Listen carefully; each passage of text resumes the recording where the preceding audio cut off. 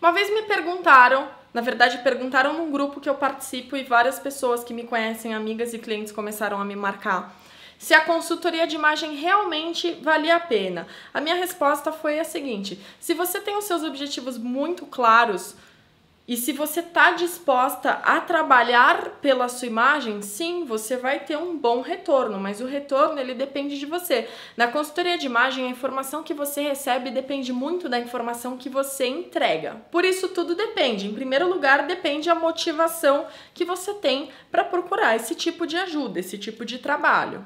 A consultoria tem sim utilidade na vida de pessoas comuns e não só para artista, para socialite, enfim, como a maioria das pessoas acredita, mas não é um serviço barato, não é um investimento baixo, é um investimento que sim vale a pena, principalmente dependendo do quanto você já gasta no seu armário e do impacto que isso vai ter na sua vida, mas não é um investimento baixo. Então, se você estiver procurando alguma coisa para te trazer retorno, ele vai valer a pena. Se você estiver procurando terceirizar a sua opinião, ou uma receitinha de bolo, alguém que faça um milagre na sua vida, mas você não estiver disposta a entregar as informações, não vai ser bacana.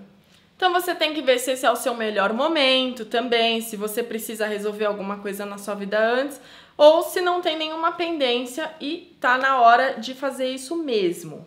Em relação ao dinheiro, como eu já falei aqui, a maioria das pessoas gasta mais em roupas que não usa do que gastaria para fazer uma consultoria de imagem. Isso por si só já faria valer o investimento, mas entender o momento ainda é o principal. Quanto aos benefícios, existe sim toda aquela questão de aprender a comprar direito e economizar não só dinheiro, mas o seu tempo, a sua energia, enfim, parar de ficar se desgastando, deixar o seu armário tão cheio de coisas que você não usa, que as coisas que você realmente gosta você não consegue nem ver embaixo de tanta tralha. Tem essas questões práticas sim e que são benefícios muito bons. E tem também aquela história da imagem ser a primeira coisa que as pessoas processam. Ela é uma forma de comunicação não verbal e as pessoas vão sim pensar em como a gente é, quais serão as nossas características, se a gente é mais extrovertido, se a gente é mais introvertido, como elas devem agir conosco de acordo com aquilo que a gente coloca para elas. Isso não tem a ver com julgamento. Tem gente que faz isso de maldade, sim, mas não tem a ver com julgamento. Tem a ver com estrutura nossa mesmo, o instinto de preservação e uma série de outras coisas que a gente carrega desde a pré-história até hoje. Isso acontece porque o ser humano é extremamente visual e a imagem acaba sendo uma forma de traduzir, de refletir quem a gente é e o momento da vida que a gente tá. Como disse uma cliente minha, inclusive nesse post que eu comentei, a imagem acaba te impulsionando para outras áreas da vida, para fazer mudanças em outros campos da sua vida. Então ela vai ter esse impacto no seu comportamento sim.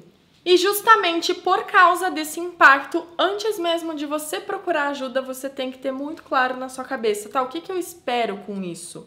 Como que eu quero ser percebida? O que, que eu vou querer para minha vida? Como eu acho que a imagem pode me ajudar? Porque aí você conversa com a consultora que você está procurando e vocês alinham se é possível fazer isso com a imagem ou não, para que não tenha um impacto negativo também no seu comportamento, que pode acontecer se o momento for errado. Lembra que na consultoria o retorno que você recebe depende muito da informação que você entrega, que você está disposta a entregar para aquela pessoa que vai te ajudar. Se você quer saber mais sobre o retorno do meu trabalho, dá uma olhada na área de depoimentos do meu site para ver o que algumas clientes disseram sobre ele.